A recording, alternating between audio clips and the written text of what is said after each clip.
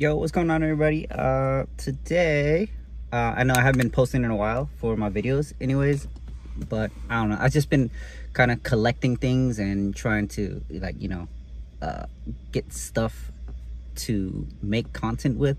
It's, it's so hard when uh, you only have like, you know, your one car and uh, basically you gotta like accumulate certain things to make certain contents. Uh, but I don't know, but today I was waiting for this for a while. Uh, I've been meaning to upgrade this uh, unit for a while and I finally got came around to it. And today we're gonna be upgrading the iDrive unit on the F32. Uh, I got this right here.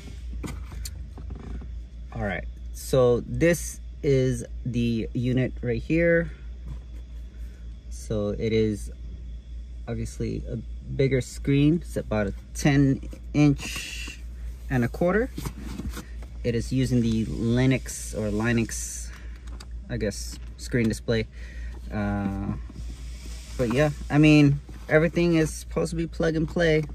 So we'll see how that goes. And it comes with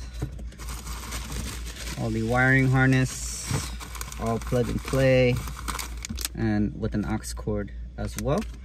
So I think we have to use that regardless but all right let's get to it. All right so that is the OEM monitor right there or the iDrive screen. So as you can see very very outdated.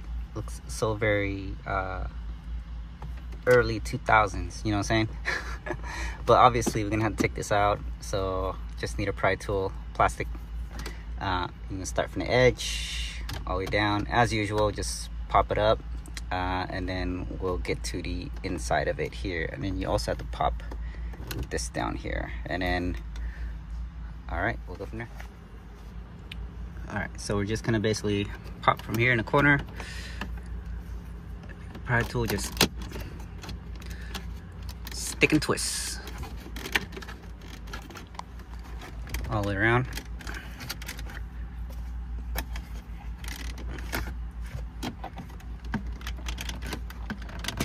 should come off.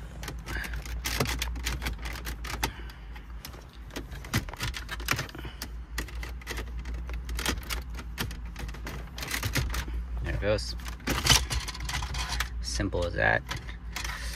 And then I'm gonna have to push that out and then unclip these wires here. So I'm just gonna do this real quick without the camera. All right as you can see these two wires are out.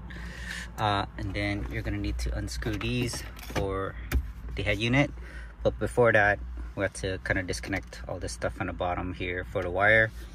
Uh, and like I said there are gonna be a bunch of T20s I have it on my power tool here. I'm just lazy. I don't want to use my hands. Okay. Let me see. Okay but first we have to let's say this was here. I just popped it out with the pry tool. And then we have to take this out right here. Um just slide that out real quick. That. That's just the cover. Throw it in the back. Keep it safe so you see there's more screws here. One two three four. All right i'm gonna start just going ham at it.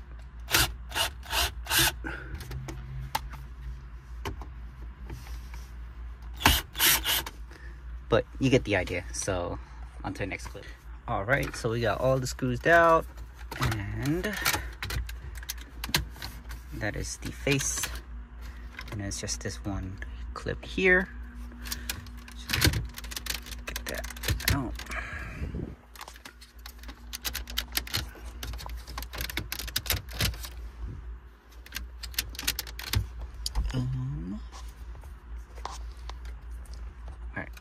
all right so after you pull that clip off it's it's kind of stubborn if you've never done this before so but be gentle it is plastic. All right I'm gonna set this aside here. Don't want to break that. And then there's obviously be two more right here. Um, yep two more and then i'm gonna take this off as well. All right so right now i'm just routing the main harness so that way i can plug it up here but it has to go through that little hole right there. So route that up there. You see that little white the white plug right there? It's supposed to go up through here. It's a tight spot but we're gonna have to plug it into here the back side of it. Um, it's just a tight squeeze and I'm taking my time and I'm forgetting to record too. So uh, once I do that I'm gonna show you what I did all right. I don't know if you can see but that white plug right there um, yeah.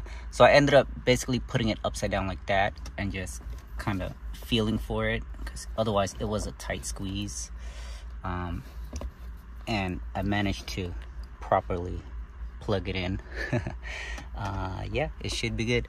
Now what's weird is that I don't know if I really need this uh, CarPlay wire because I am gonna be using the aux cable and to the aux port here. Uh, so I'm just gonna test it out before I plug everything back in obviously to make sure everything works and see if I can connect it. Uh, and then yeah we'll go from there. So cross my finger hope it works. But that's it pretty much for, for the installation.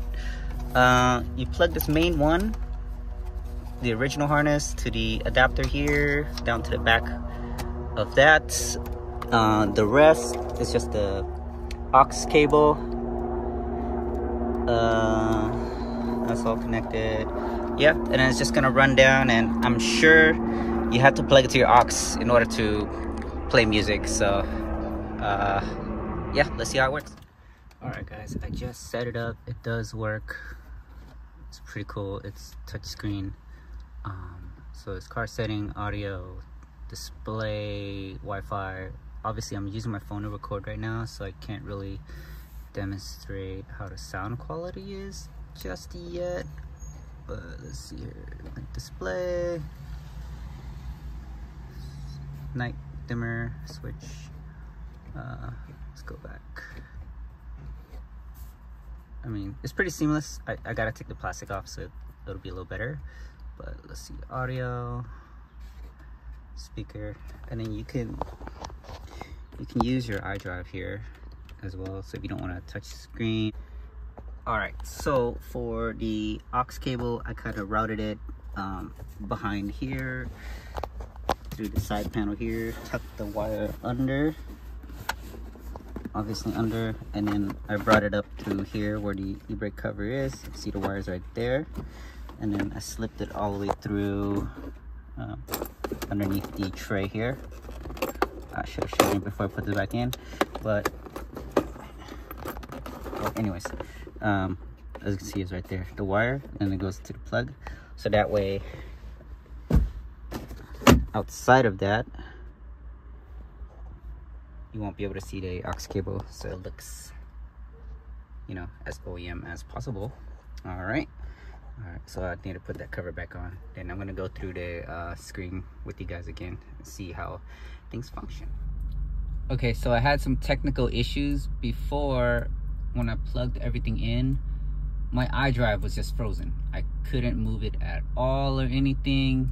And then for some reason I just had to pull everything apart.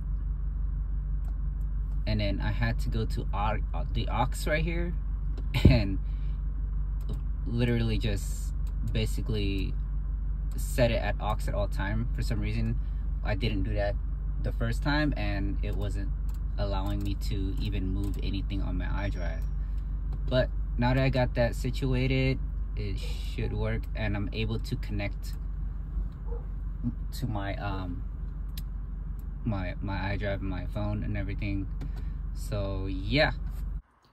All right everyone. It is the next day um finally got the settings and pretty much um set everything up to make sure it's function everything works and yeah it's pretty good. I like it so far.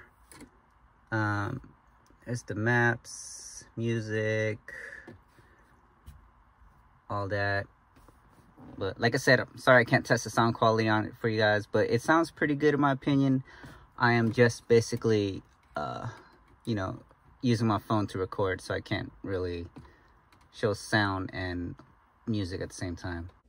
All right, that is going to be it for the video. I hope you guys found it at least somewhat helpful or, you know, if you have like an older model BMW like mine, base model, like anywhere 2015 or below or something like that, it's a it's a nice, cheap, or affordable upgrade that, that pretty much anyone can do. It's just honestly pop a few panels off and unscrew a few bolts and just plug in all the connectors with it and it's pretty much you know it's it's easy going it's easy plug and play. That's that's what i like about uh setups like that.